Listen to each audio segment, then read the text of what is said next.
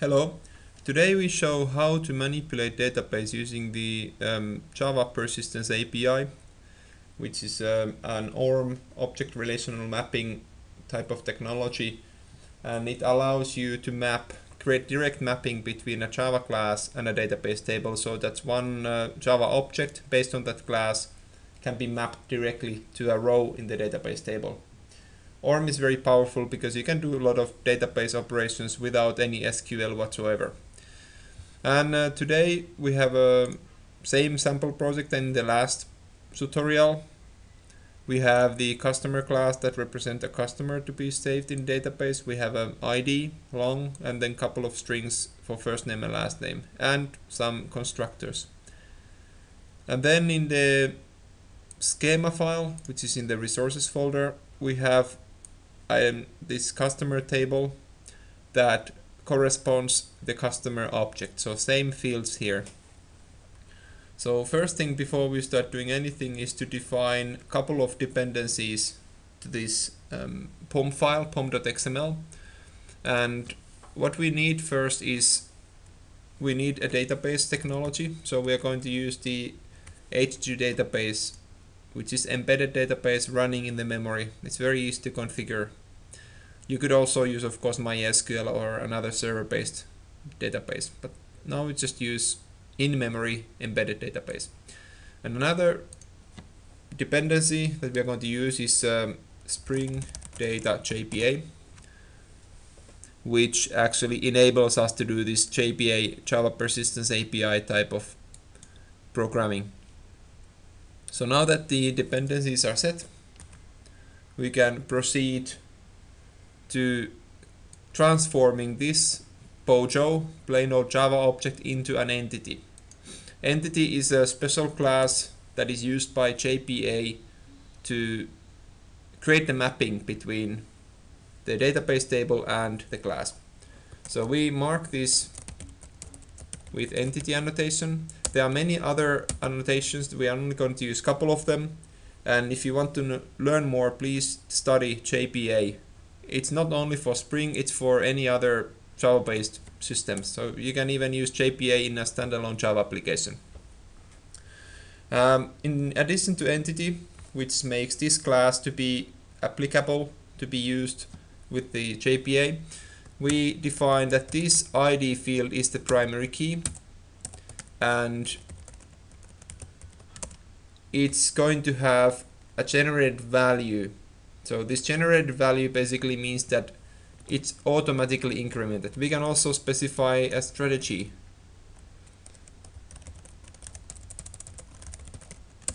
And this would mean that it's automatically generated.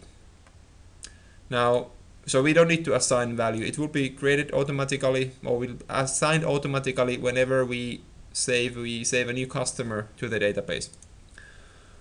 So that's it now. Next thing to do is to create the configuration file. It's slightly more complex than we did in the previous video where we did the JDBC.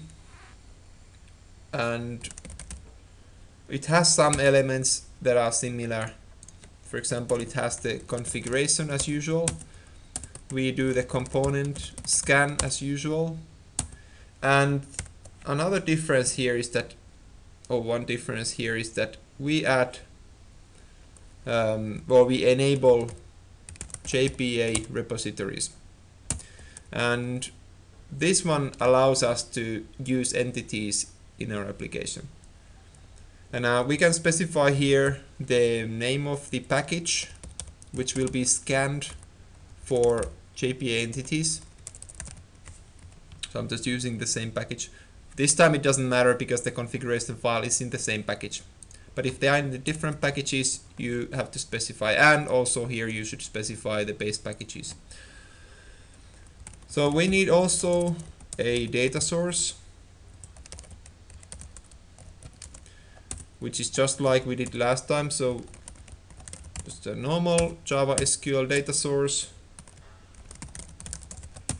and this would return a new embedded database builder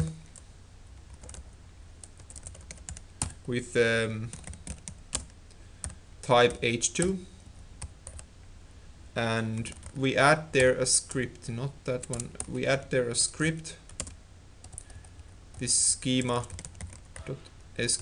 so we can load the configuration script from the file and then build. So we are using embedded H2 database. Second thing that we configure, now uh, actually there are three more things to configure and they, all of them are related to JPA. So the second thing to configure is so-called JPA vendor adapter, which allows different JPA vendors to add additional features to the basic JPA. And this will return a JPA vendor adapter.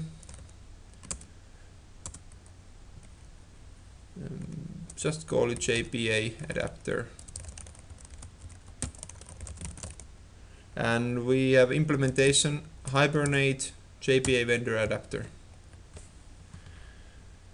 That's it. Um, you could add some features, of course, to the adapter, but for now we just leave it empty. Then the third thing that we are going to do or configure is local, this is a very horrible name, local container entity manager factory bean. Now this the local container entity manager factory bean is related to entity manager which is basically a, a component inside the Spring framework that is taking care of the entities in the application. We don't really need to use this bean. Actually, we don't use any of these beans directly. They will be used by the Spring framework, but we need to configure them.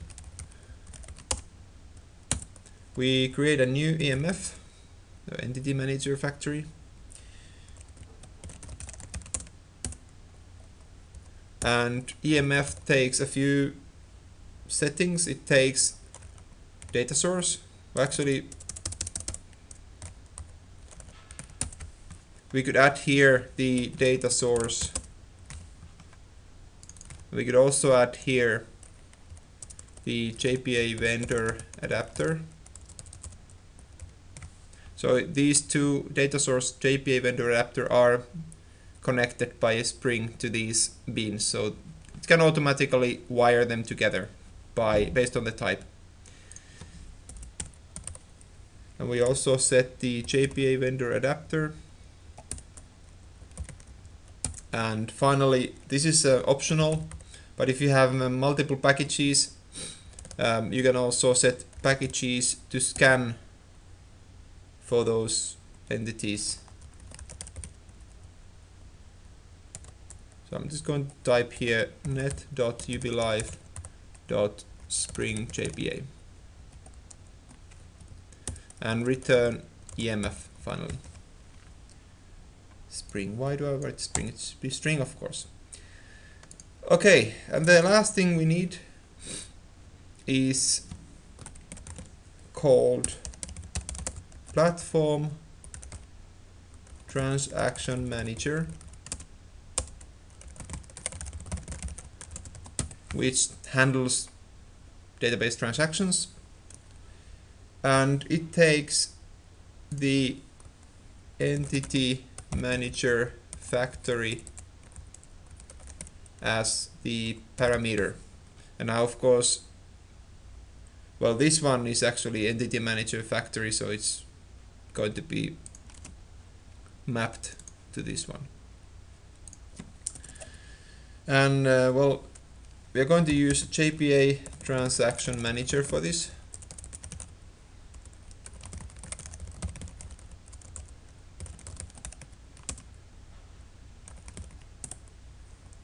And this JPA transaction manager will have this entity manager Mac factory inside it so that we can it can use it.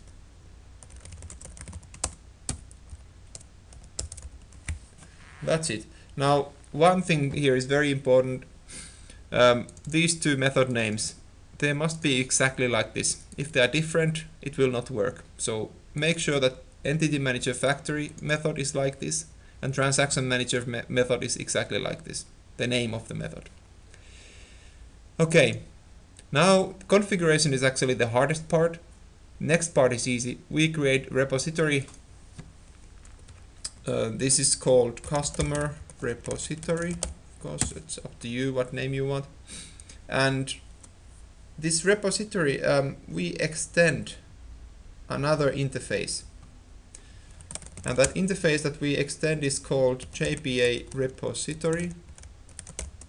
And it takes a customer. So this is the type that it will contain what kind of objects the JPA repository will, will be connected with. And what is the primary key type? It's a long.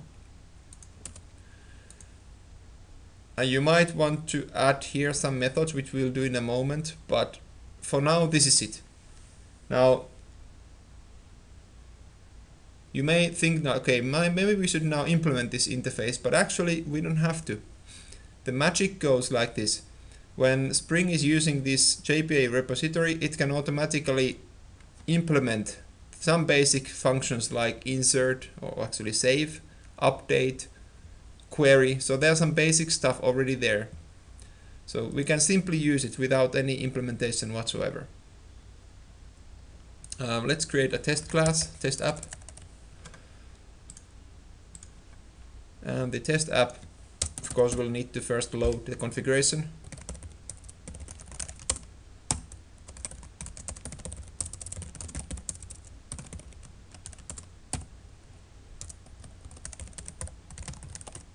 and then get a bean from there.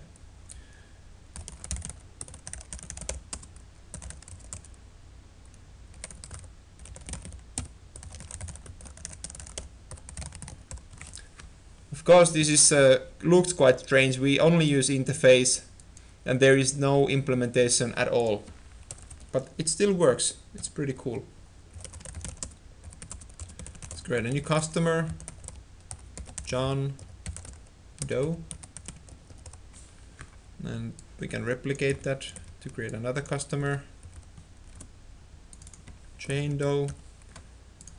And perhaps also a, a third customer.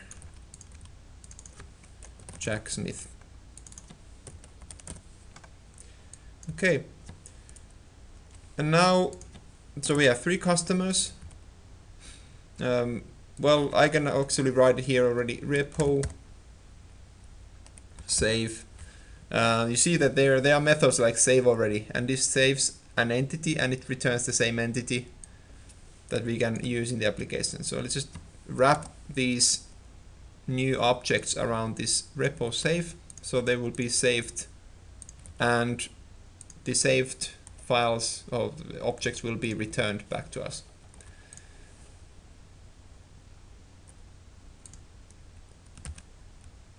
Oh, um, I forgot to save this. So let's save it. And now it's gone. Error is gone. Okay. So now magic has happened. Data should be there. We can do a little for loop. Temporary variable to find all and sys out the first name and last name.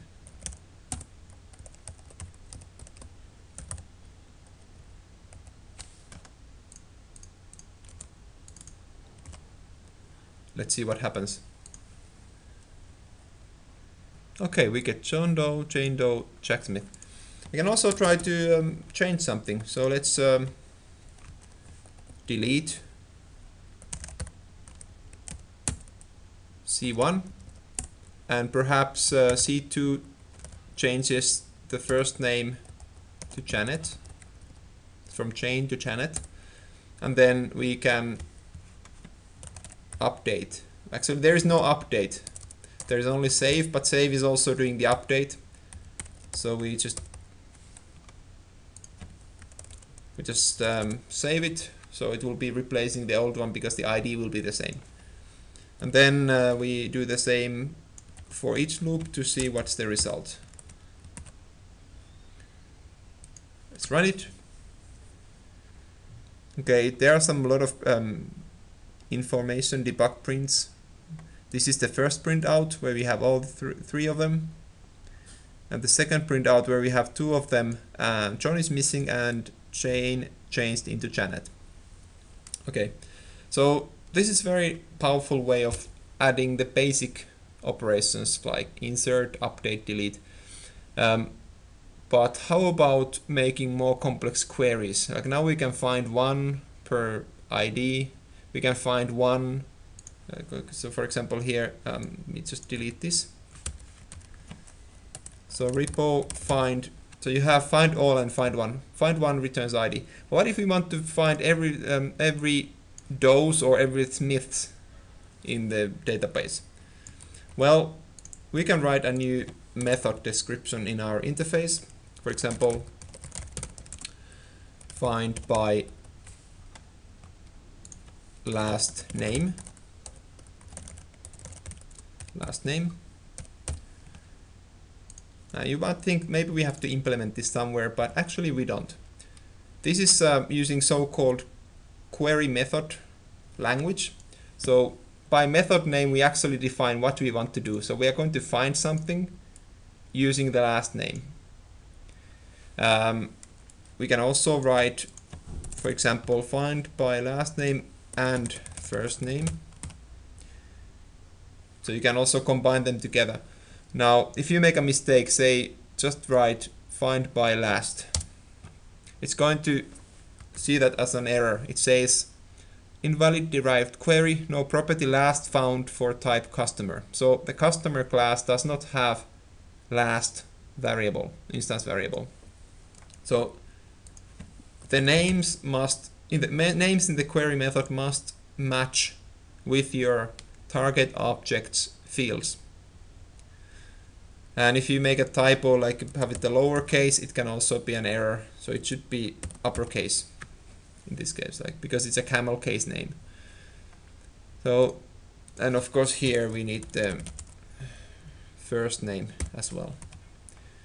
You can also do things like order by so we can um, say order by last name or let's say first order by first name descending. So we are going to order the names by the first name. First search by last name and then order by first name. So let's see how we can use these methods. Remember we didn't implement we just defined them in interface. So now we can do things like um, okay, instead of find all we do find by last name order by first name so let's put there Doe now it should find both John and Jane but in the order so that John is first Jane is second because it's descending order so let's see what happens John is first, Jane is second. Now let's change it a little bit. Instead of descending, let's use ascending.